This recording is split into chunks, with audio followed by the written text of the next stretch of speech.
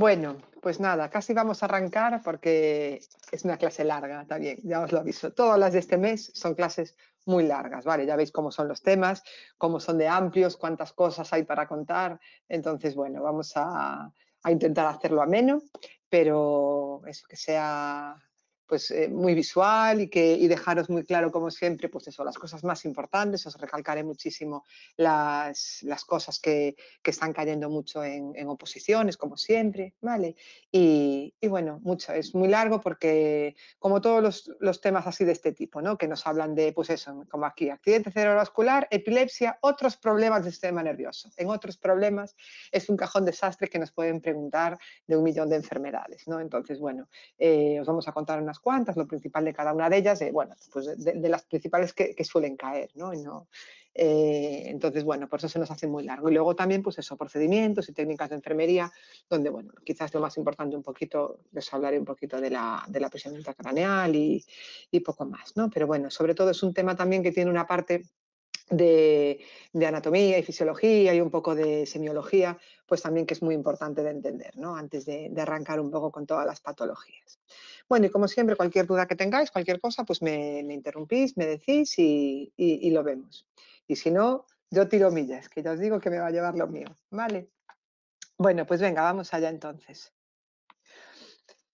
Bueno, empezamos entonces con un apartadito eh, de recuerdo anatomofisiológico, ¿no? de lo que es pues, el sistema nervioso. El sistema nervioso, pues eh, eh, en el sistema nervioso se realiza la función vital de, de relación. Nos relacionamos con el exterior a través de los sentidos y también establecemos relaciones con los distintos órganos de, nuestro cuerpo. Entonces, ¿cuáles son las funciones del sistema nervioso? Bueno, pues por un lado, una función sensorial. A través del sistema nervioso, pues obtenemos información de estímulos externos e internos, ¿no? a través pues, de los receptores sensoriales. Tiene una función también integradora. ¿Por qué? Pues porque no solo obtiene esa información, sino que realiza un análisis de esa información y toman las decisiones adecuadas, ¿no? lo que hace el sistema nervioso central. Y luego también tiene una función motora, es decir, de acuerdo a esa, a esa información y ese análisis de la información, pues va a dar una respuesta, una respuesta pues a través pues, del, del, sistema musculoesquelético o a través de las, de las glándulas. ¿Vale? Eh, nada, para empezar, solo unas pinceladitas que os pongo de, las neuronas, ¿no? que son las células responsables de la transmisión del impulso nervioso a través pues, de ese tejido nervioso. Entonces, nada, simplemente que nos suenen un poquito esa, esas partes. Eh, tenemos las dendritas, ¿veis? Que son estas, que, estas ramificaciones que vienen por aquí, que llevan son los que llevan los impulsos hacia el cuerpo celular. ¿no? Eh, son prolongaciones pues, que salen, pues, como veis, de diferentes partes del, del soma, y suelen ser muchas y ramificadas. El soma es este cuerpo celular, ¿no? que es el que contiene el núcleo. Y luego tenemos los axones, ¿no? El axón, que es esto de aquí, que es el que lleva los impulsos desde el cuerpo celular, ¿no? Y es una sola prolongación, ¿no? De aquí, bueno, pues que nos suenen estos nombrecitos, ¿no? Que a veces esos nombres eh, eh, suelen gustar mucho, ¿no? Pues lo que es la vaina de mielina. Que son estas partes, el nódulo de, de Rambier, que son los que lo unen, ¿vale? La célula de Swann, que es esa que está en el medio de cada una de esas vainas de mielina, ¿no? Y terminan pues en esos axones terminales, que son los que eh, a través de la, lo que se llama sinapsis, ¿vale? Pues se transmite el impulso de una neurona a otra, ¿vale? Esto es importante. La sinapsis es ese punto en el que se conectan esas neuronas y pasan los, van pasando los impulsos, esa transmisión del impulso de unos a otros, ¿vale? Bueno, entonces vamos ya con la organización del sistema nervioso. ¿vale? Eh, desde el punto de vista anatómico, pues el sistema nervioso se divide en el sistema nervioso central y el sistema nervioso periférico. Vamos a ver estos dos grandes grupos. ¿no? El sistema nervioso central lo que hace es que recibe estímulos y elabora respuestas, ¿vale? Está formado pues, por el encéfalo y la médula espinal. Ahora trabajaremos un poquito con cada una de estas partes. Y luego está el sistema nervioso periférico, ¿vale? Y aquí, pues los nervios conectan los centros nerviosos con los receptores y los efectores, ¿vale? También hablaremos del después, ¿no? Hay dos, dos, se divide en dos, el sistema nervioso vegetativo o autónomo, que es el de las actividades involuntarias, y el, no, y el somático, que es el de las actividades voluntarias y actos reflejos. Entonces, bueno, vamos a empezar primero que nada con el sistema nervioso central. Decíamos que está formado pues, por el encéfalo y la médula espinal. ¿vale? Todas estas estructuras están cubiertas por las meninges, ¿vale? Las meninges caen mucho, que nos sepamos muy bien esos nombres de las meninges, ¿vale? La pía madre, que es la más interna de todas, la aracnoides, que es la del medio, y la dura madre, que es la de fuera. Las funciones de las meninges, pues es, por un lado, una protección biológica, pues porque impide la, entrada de sustancias nocivas, pues protegiendo, pues, por ejemplo, de infecciones como la encefalitis o la meningitis, y también una protección mecánica, Luego, en el medio, aquí entre la pia madre y la aracnoides, mirar, estaría el líquido cefalorraquídeo. ¿Qué es el líquido cefalorraquídeo? Bueno, pues eh, es, eh, gracias a él pues, se mantiene flotante el encéfalo, actuando como amortiguador dentro del cráneo. Sirve de vehículo pues, para transportar los nutrientes y eliminar los desechos. Y también es muy importante porque fluye entre el cráneo y la médula espinal para compensar los cambios en el volumen de sangre intracraneal, ¿vale? manteniendo una presión constante. Por eso hablaremos al final de todo de esta presión intracraneal y de la medición, esas cifras y demás. ¿vale? Bueno, entonces, decíamos, el sistema nervioso central estaba, estaba formado. Espera, que me dicen que está la pantalla muy caída, es que no me vi. ¿Mejor así? ¿Sí? vale. Eh, el sistema nervioso central había dos partes, recordad, encéfalo y médula espinal, ¿vale?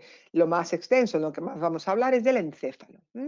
Entonces, el encéfalo está formado por estas tres partes, el cerebro, el tronco encefálico y el cerebelo, que ahora hablaremos más de ellas, ¿no? El cerebelo a grandes rasgos, deciros que está formado por telencéfalo y, diencéfalo.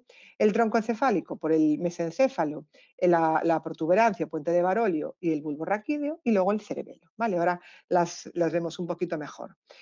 Y luego en el cerebro estaría lo que es la materia gris, que donde estarían los cuerpos neuronales, y la materia blanca, los axones. Pues mirar, aquí os pongo un esquemita así de lo que es el encéfalo. El encéfalo decíamos que estaba formado por estas tres partes. ¿no? El cerebro es la estructura principal y tiene estas dos partes, telencéfalo y diencéfalo. El telencéfalo son los hemisferios, que los vemos ahora en la siguiente diapositiva. ¿vale? Y el diencéfalo es la porción central del cerebro. ¿De qué está formado el diencéfalo? Pues mirar, está formado por el tálamo, que lleva los impulsos sensitivos y motores, el hipotálamo, que este lo conocéis muy bien, hablamos mucho de él, sobre todo en la parte de endocrino y demás, ¿no? Eh, es el responsable de los procesos fisiológicos, y el epitálamo del, sistema límbico, ¿no? lo que es un poco la parte afectiva y demás.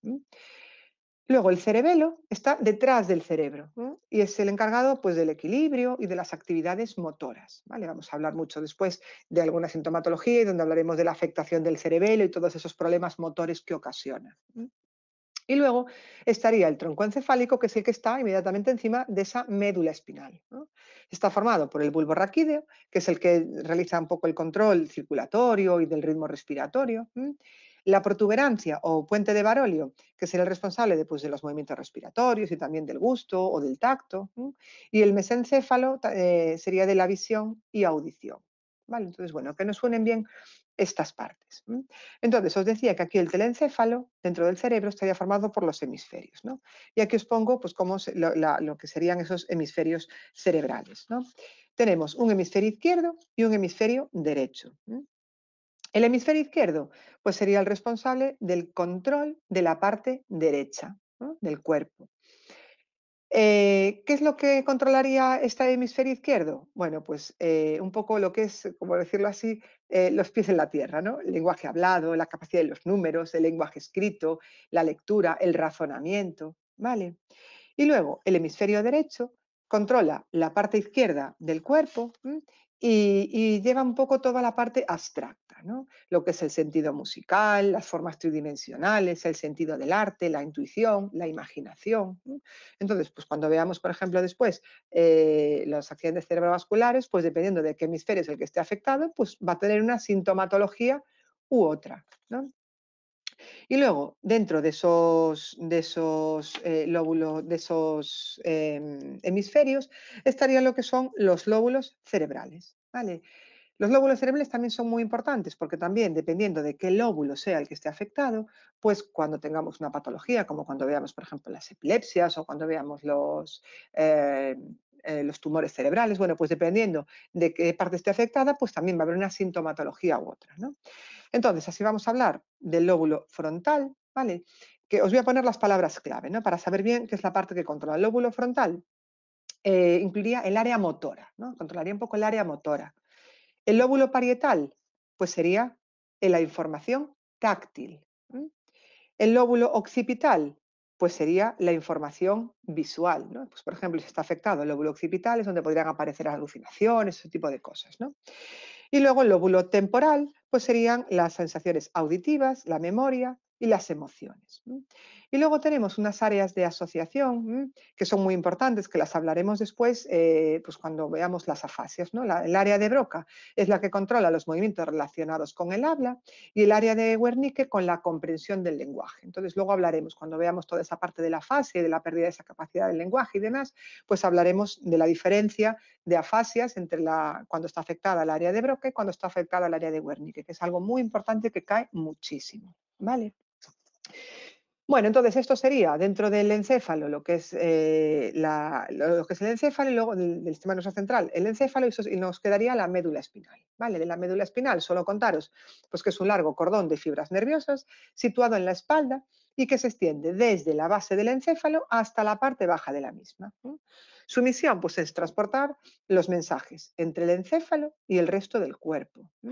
De aquí, de esta médula espinal, pues emergen 31 pares de nervios espinales o raquídeos, ¿vale? que veremos ahora después porque eh, formarían parte ya, ¿no? una vez que emergen de ahí, del sistema nervioso periférico. ¿Vale?